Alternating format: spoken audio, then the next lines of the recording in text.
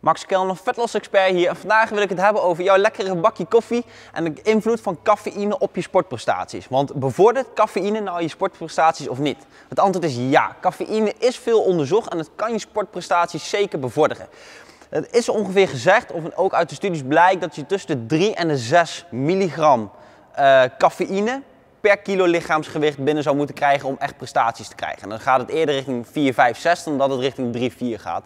Dus als we een voorbeeld nemen, stel jij weegt 80 kilo en we nemen even 5 milligram uh, cafeïne per kilo lichaamsgewicht aan dat je nodig hebt om resultaat te zien. Dat betekent dat je 80 kilo keer 5 milligram, ongeveer 400 milligram cafeïne, uh, cafeïne per dag binnen zou moeten krijgen om een daadwerkelijk effect te merken. Nou, in een gemiddelde kop koffie, afhankelijk van hoe groot je hem zet, zit ongeveer 80 milligram cafeïne.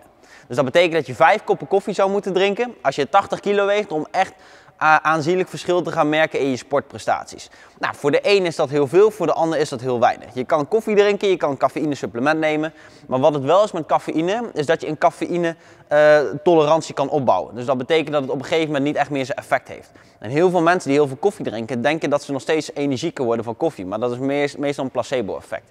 Wat dan nuttig kan zijn, is om een cafeïnebreekweek in te lassen. Dus dat wil zeggen dat je bijvoorbeeld een week geen cafeïne neemt. Je lichaam eigenlijk laat resetten, je cafeïne-tolerantie weer aanpast. Waardoor jij weer beter reageert op de cafeïne daarna voor je sportprestaties.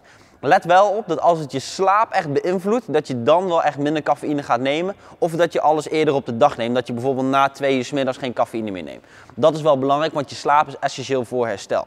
Dus cafeïne kan heel nuttig zijn als jij je sportprestatie wil verbeteren. Dan zou ik deze richtlijnen aanhouden. En merk je dat je er niet zoveel effect meer van hebt, zorg dat je een breekweek inlast.